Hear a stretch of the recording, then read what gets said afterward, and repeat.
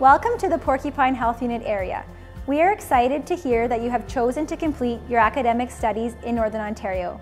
The Porcupine Health Unit is the public health unit in Ontario that covers the largest geographical area. Our head office is in Timmins in the downtown area.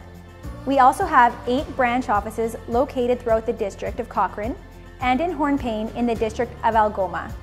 Our branch offices can be found in Cochrane, Hearst, Hornepayne, Matheson, Iroquois Falls, Kapuskasing, Moosonee, and Smooth Rock Falls.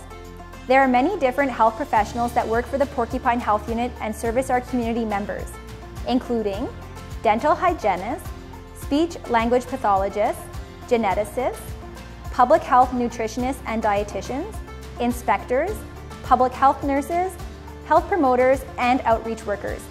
We believe strongly in our mission, which is strengthening opportunities for healthy living within healthy communities.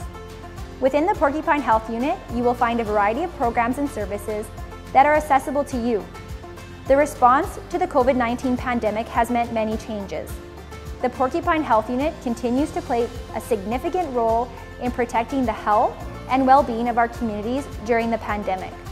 As a result, the Health Unit has had to make changes to the way we deliver programs and services. We continue to offer the following programs that you may wish to access. The Sexual Health Clinic, the Vaccine Preventable Diseases Clinic, the Genetics Clinic, Harm Reductions Clinic, Infectious Diseases, Prenatal Classes, Car Seat Clinics and Breastfeeding Clinics, Food Handling Courses, the Infant Hearing Program and the Vision Program, the Dental Clinic, the Animal Bite Exposure Clinic, and the Tobacco Quit Clinic. We also have the Canada Prenatal Nutrition Clinic. You can find more information on these clinics and the services that might interest you on our website, www.porcupinehu.on.ca. You can also follow us on Facebook, Twitter, and Instagram. We want to remind you that it is very important to complete a COVID-19 self-assessment every day. This is where you screen yourself for symptoms.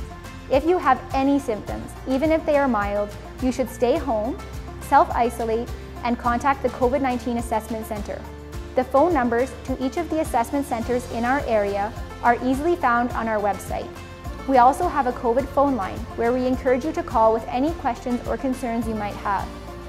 Remember to follow the public health measures. This is especially important if you are spending time with people you do not live with, such as in a study group or in your residence. Maintain a physical distance of two meters from other people Masks are required in all indoor public spaces. Also wear a mask both indoors and outdoors when you are unable to maintain a physical distance of 2 meters. Cough or sneeze into your sleeve or tissue. Wash your hands often with soap and water or alcohol-based hand sanitizer. Stay home if you are sick. Keeping our community safe is everyone's responsibility.